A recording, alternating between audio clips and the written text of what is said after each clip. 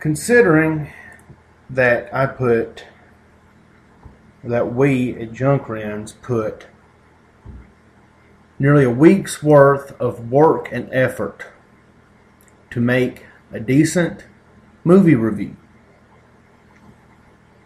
I am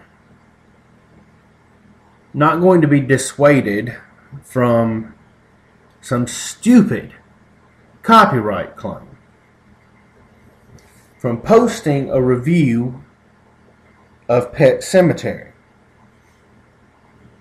Now, if I even have to just put up a picture of some pumpkins and the sound of my voice, then I will do that. The review must go on. Now, the studio that made Pet cemetery. I encourage people to not do business with that studio anymore. If you already have the movie, you've probably already seen it, but this is my review. Pet Cemetery was a novel written by Stephen King in 1983, and it was adapted into a movie in 1989, directed by Mary Lambert. The word cemetery, S E M A T A R Y, as it is spelled in the movie, was a deliberate misspelling. We'll get to the reason why on that later. The film stars Del Midkiff as Louis Creed, Denise Crosby as Rachel Creed, Blaze and Beau Berdahl as Ellie Creed, Miko Hughes as Gage Creed, and the late Fred Gwynne as Judd Crandall. Brad Greenquist is cast as Victor Pascal, and Stephen King makes a cameo as a preacher. The movie's score was written by Elliot Goldenthal and features two songs written by the Ramones. The opening is very creepy. The way that it shows a cemetery, a pet cemetery, in a circular formation with the grave markers for the pets being made of any material that could be thrown together fencing, bedpost, you name it. It has children singing in the background and a type of music that leaves it leaves you very unnerved. It feels cult-like. At one point, there's a children's rocking toy at one of their pets' graves, and just thinking of the innocence lost is enough to send chills down your spine. Everything about the opening just sets the tone for the entire film. A film that is horrific. It is made to scare. We are introduced to a family, the Creed family, typical, uh, typical middle class American family. They are normal and that is the best word that I have to describe them. It's just normal. He is a normal man. She is a normal woman. They have two normal children. They have a normal cat with a normal name. They live in a normal two story house. They are the normal American dream. And if it was a normal movie, then they would have a normal adventure. But this is the work of Stephen King, the Titan of Terror and the Prince of Panic. You know that if you're caught being normal in one of his works, you might as well get caught with your pants down trying to dodge rush hour traffic. To be normal in one of King's works is to ask the higher powers of his megaverse to rain havoc and destruction down on you. And they tend to live in the chaos capital of the world, Maine. say that because a lot of King's works take place in Maine. Right off the bat, they show that they are horrible parents.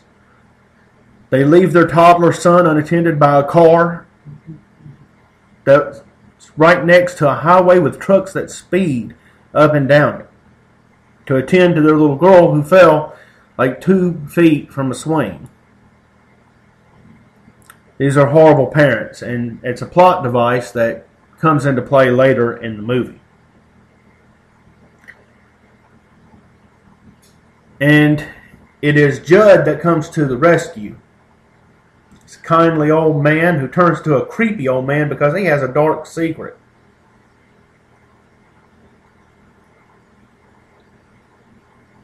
And at one point, there is a kid that gets into a car accident and half of his brain is left exposed, which is creepy as all get out. And he, as he dies, he his ghost starts to manifest to the Creed family to warn them. His name is Victor Pascal, and so I call him because he warns people. Pascal, the friendly ghost. In one scene, he appears, he manifests as himself over the bed, over Louis's bed, talking to him. And if I saw a dead guy with half his brain sticking out, leaning over my bed talking to me, I'd probably soil myself. The path that leads to the pet cemetery is straight and narrow. It Seems to be very opposite of the Bible. In the Bible, it says the straight and narrow path leads to life. Well, in this movie, it leads to death and destruction. And the ironic twist is that Stephen King, the author of the novel that has this, plays as a preacher. What's even more ironic is that Judd Crandall's character, uh, Judd Crandall, is played by the same person who played Herman Munster. So Fred Gwynne plays as Herman Munster in the Munsters, a character of a the character is a creature who's brought back from the dead. A play on Frankenstein's monster. And in this, he plays a character that leads someone else to bury their dead cat and their dead son and his dead wife.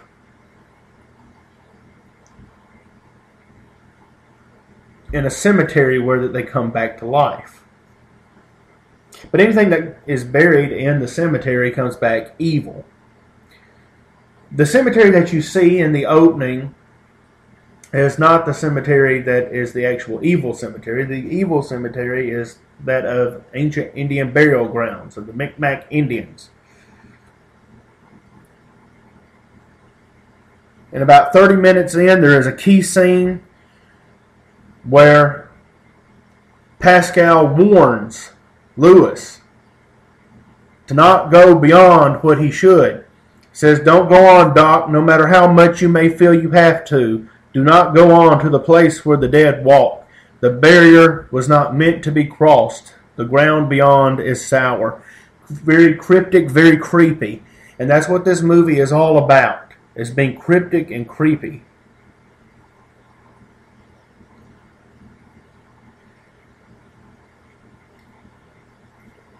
Considering that anything that you bury in the cemetery comes back,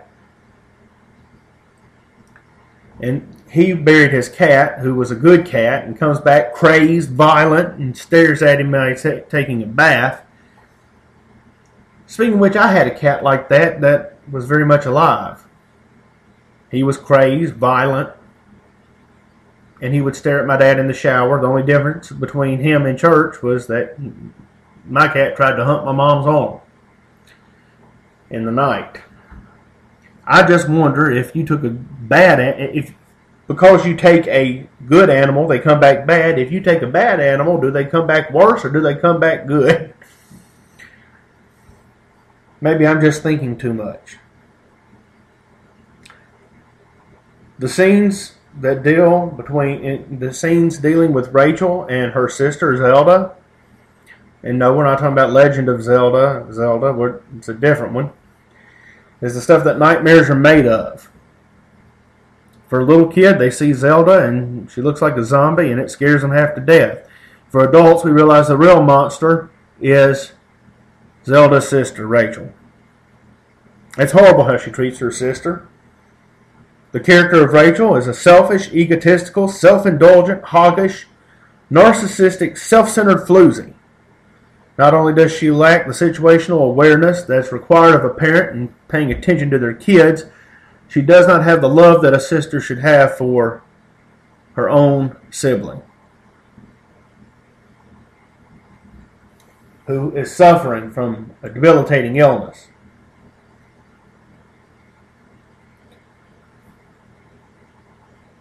Of course, they're the parents having the, the situational awareness of a domesticated retarded turkey leads to their son Gage being killed in one of the most gruesome manners possible, and one that is every parent's worst nightmare.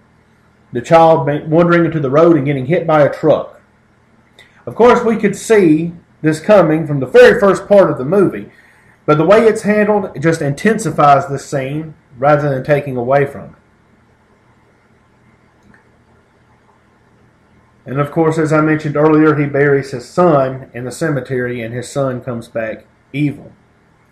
And when that happens, all chaos breaks loose. I would tell you what happens, but I don't want to spoil the ending for you if you haven't seen it. Pet Cemetery is a frighteningly good horror movie. It's one that I haven't watched in ages, and I decided to bust it out and watch it to commemorate this first Halloween Horror Scareathon review. Considering that my first review of it was taken down by some stupid copyright claim, I may not go back and ever watch it again. I may put it back on the shelf and let it collect dust. Because the real monster in the first review was not the cemetery, it was the selfishness of the characters. The characters were self centered, and it reflects the typical middle class American family. But I found another monster, and the, that other monster is the studio that put it out. Because they're just as self centered. They can't even take someone independently, giving them a good review. If you're so paranoid about someone stealing your work that you can't let someone even give you a good review, that is truly self centered. That is true greed. And that's where the real monster comes in. As far as the movie is concerned, the acting is very, very good. The director had, I got to give props to Mary Lambert. she did a great job in directing the film. Stephen King provided the source material, one of the scariest books that's ever graced American bookshelves. As far as graphics are concerned, it the movie was made in 1989, so don't expect anything too flashy. The movie is not particularly gory, but the subject matter is extremely graphic. The movie serves as an excellent warning to not be so attached to things, to be able to let into people, and to let go, and to not try to proceed further than we should. As Pascal, the friendly ghost, said, don't go on. No matter how much you feel you have to. The ground beyond is sour. You would think that everyone involved in the movie would have learned that. And you would think that we would learn that as a society. To not go beyond. To try to reach further than we should, for the ground beyond is sour. That's a quick review of the movie and how that I feel. Great movie, great acting, good graphics for the time, great story, great author, horrible studio. And that is my review.